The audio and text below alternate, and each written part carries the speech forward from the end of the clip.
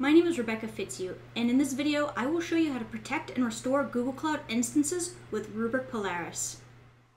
First, I'll begin by showing you how backup frequency and retention is defined through our SLA domain, as well as how to assign and manage data protection. Next, I will show you the different options for restoring data, which include restore and export. Rubrik Polaris provides simple, unified data operations management across multiple clouds and data centers. Let's take a look. After logging into Rubrik Polaris, you'll find yourself on the homepage dashboard, which provides an overview of compliance across all data sources managed by Rubrik. Adding a GCP project to Rubrik Polaris is painless, making day zero a simple and easy experience. To begin, navigate to Manage Settings, and then select Remote Settings. In the top right, go ahead and click Add Cloud Account. A dialog appears, choose GCP, and then Next. And go ahead and choose which use case. In this case, we're just going to select VM Protection, and then Authorize Access.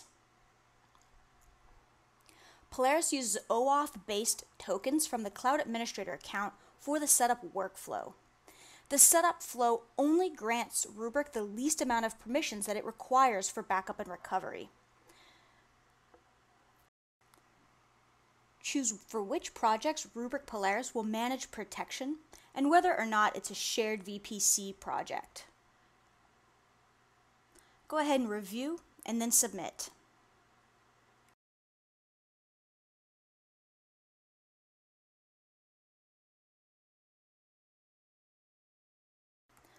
Once the account has been successfully added, the next step is to go ahead and assign a protection policy called an SLA domain. So let's go ahead and create an SLA domain. SLA domains greatly simplify your data lifecycle management. Under protection policies, I can specify the snapshot frequency and retention and not worry about job scheduling for backups and expiry. So for example, I might choose to take hourly snapshots for operational recovery purposes and really only retain them for a single day.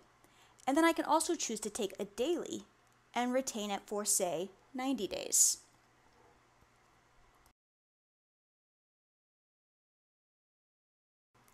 Under remote policies, I can specify a replication target such as another region and how long the replicated copy should be retained.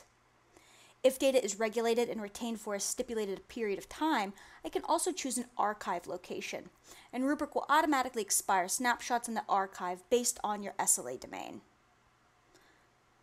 So let's go ahead and name our SLA domain that we have created and submit.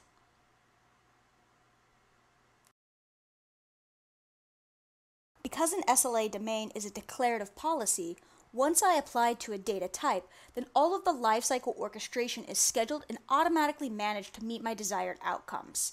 And I can assign this policy as broadly or as granularly as required by my use case, from the project level all the way down to the individual workload. So by selecting inventory, I can view all of my different data sources, such as GCP.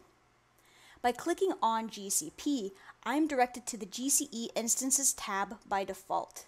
Here I can view the Compute Engine VM instances across my configured projects and regions. Notice the information presented. I see things like the instance name, the instance ID, project ID, region, size, VPCs and subnet information, as well as the SLA and the assignment type, whether direct or derived. And on the left hand side, I can filter using these categories to limit my field of view. So for example, I might only want to see workloads that are located in US Central 1 and only those within the TM project. To assign an SLA domain for protection, simply go ahead and select one or more instances and then click Manage Protection. From there, you'll be presented a list of all of the available SLA domains for you to go ahead and select which one you want to choose and then assign it. Alternatively, an SLA domain may be assigned to an entire project. This ensures a catch-all style of protection in which all new instances will inherit the level of protection from the SLA policy. To assign an SLA domain to a project, simply go to the Projects tab and then select a project and click Manage Protection in a similar manner. Any SLA domain directly assigned to an instance will take precedence. So this ensures that you can assign policies broadly to guarantee protection of all data while still providing different levels of service for critical data. Now let's look at managing a specific workload. I can either go back to my GCE Instances tab, or I can go ahead and just select a project name to view its workloads. So let's go ahead and select my Ubuntu instance that's been protected by an SLA domain. Notice on the left-hand side, I can view its protection details, such as how many protected disks and information about the SLA domain and associated snapshots up top. Customers may choose to exclude one or more disks from being protected by Polaris. If this is done, all future snapshots will not include the disk in its protection. So to do so, simply select the ellipsis up at the top right and click Exclude Disks. From there, I can choose which disk I want to exclude and then go ahead and select Update. Know that the OS disk is always included and, by default, all disks on an instance are included in protection. If a customer were to attach a new disk to the instance, then it will be protected along with the instance itself. Now that I've configured disk exclusion, we can see that my protection status has changed and all future backups will include only my OS disk and not the disk that I just chose to exclude.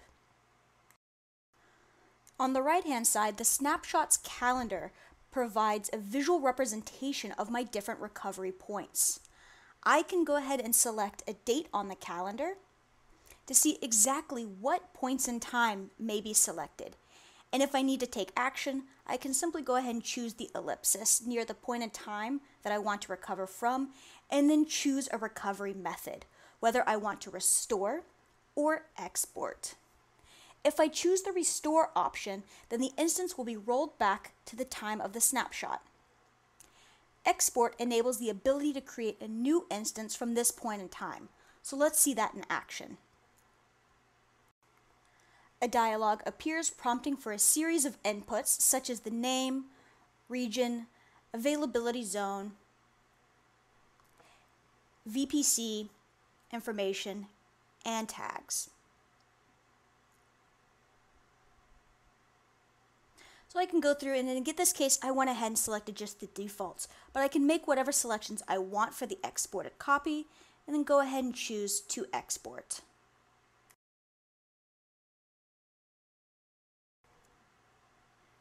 Now I can go ahead and navigate to the Events tab to monitor this export's progress.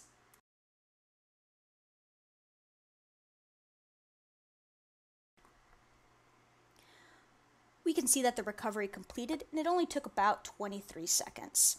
So now let's go to GCP to verify that we can see the newly exported instance. So let's go through and do a refresh of our compute engine. And we now see the recovered instance. In this video, you saw how backup frequency and retention is defined through the creation of an SLA domain as well as how you can assign SLA domains to guarantee different levels of protection across your GCP projects and instances. Secondly, we saw different options for operational recovery, the ability to restore in place or export a copy. Additionally, I showed you how easy it was to get started by adding a GCP project. Not only does Rubrik Polaris securely orchestrate data operations across all of your cloud accounts, it's also consumed as a service. So this means that you don't have to deploy, manage, scale, or upgrade your data management platform. And most importantly, your protected data never leaves your account. Managing your data lifecycle across cloud platforms and on premises has never been so easy. Thank you for watching. For additional information, please visit Rubrik.com.